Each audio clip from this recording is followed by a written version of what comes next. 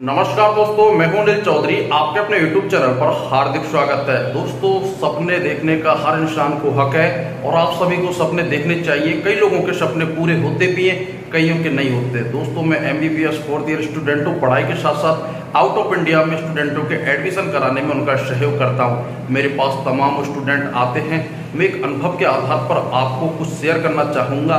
किसी स्टूडेंट के नीट में नंबर आते हैं। तीन, चार, पाँच ड्रॉप हो जाते हैं। किसी के एक, दो ड्रॉप होते हैं। डेढ़ सौ, दो सौ, ढाई सौ, तीन सौ, साढ़े तीन सौ नंबर होते हैं। और जब ये एडमिशन कराने के लिए आते हैं, इनकी क्वारिज देखिए आप। सर क्या हमारा यूएस असेंबली का एग्ज़ाम क्लियर हो जाएगा? हमारा यूके में वो हो जाएगा? हमारा जर्मनी का जो कॉमन एग्ज़ाम है, वो क्लियर हो जाएगा? ये हो जाएगा, वो हो जाएगा। हालाँकि ये बातें अच्छी है, करनी चाहिए। मैं इनके खिलाफ नहीं हूँ, लेकिन मैं उनको बताना चाहूँगा। दोस्त, आज तक मेरे से लगभग 10 से बारह हज़ार स्टूडेंट जुड़ा हुआ है। मैंने सिर्फ़ ये भी सुना है कि यू असेंबली का कोई एग्ज़ाम होता है। एक भी स्टूडेंट से मैं अपनी लाइफ में नहीं मिला, जिसने वो एग्ज़ाम क्रैक किया है। बहुत टफ है। इसलिए आप सपने वो ही देखो जो आप पूरा कर सकते हो। क्योंकि मैं ये नहीं कह रहा कि आप नहीं कर सकते कर सकते हैं, लेकिन बहुत ज़्यादा टफ है। पहला टारगेट आपका होना चाहिए कि आप वहाँ जाइएगा एम कीजिएगा और एम कंप्लीट करके जो इंडिया में एफएमजी का एग्ज़ाम है, उसको निकालो पीजी करो। इंडिया में अच्छे से सेटल हो जाओ, ये पर्याप्त है। वो अलग ही स्टूडेंट होते हैं जो यूएसएमली का एग्ज़ाम क्लियर करते हैं। क्योंकि आपके क्वेश्चन जिस हिसाब से मैं देखता हूँ, अरे यार, वाह, क्या कॉन्फिडेंस है? फिर मैं पूछता हूँ, भाई नीट की कितने साल तैयारी की? सर, तीन साल तैयारी। तीन साल में ढाई सौ नंबर लेके आया वो बंदा, लेकिन उसके सपने बहुत हाई फाई है। फिर मैं उससे बोलता हूँ, भाई, अगर तू यूएस एग्ज़ाम निकाल सकता है, वो बोलता जी, सर मैं मेहनत करूँगा, निकालूँगा, क्योंकि वो जोश होता है। पेरेंट्स के सामने उसको ऐसा शो अप करना होता है नहीं। पेरेंट्स उसको बाहर थोड़ी ना भेजेंगे। तो मैं कहता हूँ, अगर तू यूएस का एग्ज़ाम निकालने की काबिलियत रखता तो एक ड्रॉप ले और एम से दिल्ली का एग्ज़ाम निकाल।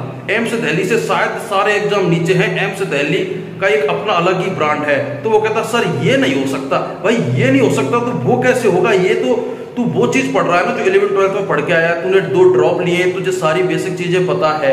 वहाँ के ना एग्ज़ाम के पैटर्न के बारे में पता, कैसे एग्ज़ाम होगा, कितनी कंट्री में होता, कुछ नहीं पता। लेकिन भाई आएगा, निकालेगा यूएस का एग्ज़ाम तो दोस्त, मेरा अनुरोध ये है कि आपको सपने देखो, लेकिन सपने वो ही देखो जो आप पूरा कर सकते हो। इसके अलावा मैं ये नहीं कह रहा कि उसने मेरे से गलत बोला।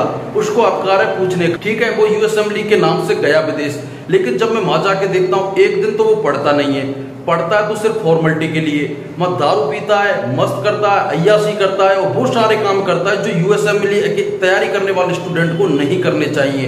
वो एक महीने का ही जोश रहता है जब तक एडमिशन होता है और स्टूडेंट विदेश जाते हैं। उससे पहले उनके डाउट देखो, सर, कौन सी बुक लेके जाएँ? सर, कितने घंटे क्लास चलेगी? सर लाइब्रेरी है? सर, ये है लैब कहाँ है? हॉस्पिटल कहाँ है? ये, वो। लेकिन दोस्त वहाँ जाने के बाद सारी चीज़ें भूल जाता है, सोता है, कुछ नहीं करता।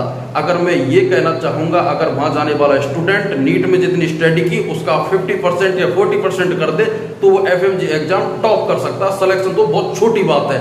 इसलिए मेरा स्टूडेंट और पेरेंट्सों से ये निवेदन है कि आप अपनी जितनी लिमिट है, उतना ही वर्क करें और ज़्यादा इंक्वायरी कर, अपना समय बर्बाद ना करें। हालाँकि इंक्वायरी करना गलत नहीं है, लेकिन आप उसके काबिल नहीं हो, क्योंकि आप जो बातें कर रहे हैं, उन पर खड़े नहीं उतर पा रहे। मेरे काफ़ी स्टूडेंट पढ़ रहे हैं और ये जो मैं वीडियो बना रहा हूँ, अनुभव के आधार पर बना रहा हूँ। ऐसे नहीं कि कुछ भी आपसे बोल रहा हूँ। तो आई होप आप मेरी बातें समझे होंगे और आपसे उम्मीद करूँगा, जाए तो अच्छी यूनिवर्सिटी का चुनाव करें एफएमजी की तैयारी करें, उसके बाद आपको यहाँ इंडिया में एक साल इंटर्नशिप के लिए समय मिलेगा, उसमें आप इंडिया में अच्छी प्रैक्टिस करें। एक अच्छे काबिल डॉक्टर बन जाओगे देखो डॉक्टर डिग्री से नहीं बनता।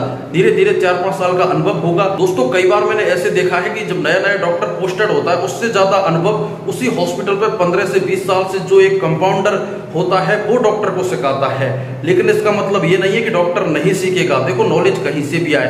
तो इसलिए आप मेरा वीडियो बनाने का तात्पर्य समझ चुके होंगे। आज के लिए इतना ही। मिलता हूँ नेक्स्ट वीडियो में नेक्स्ट अपडेट के साथ। जय हिंद।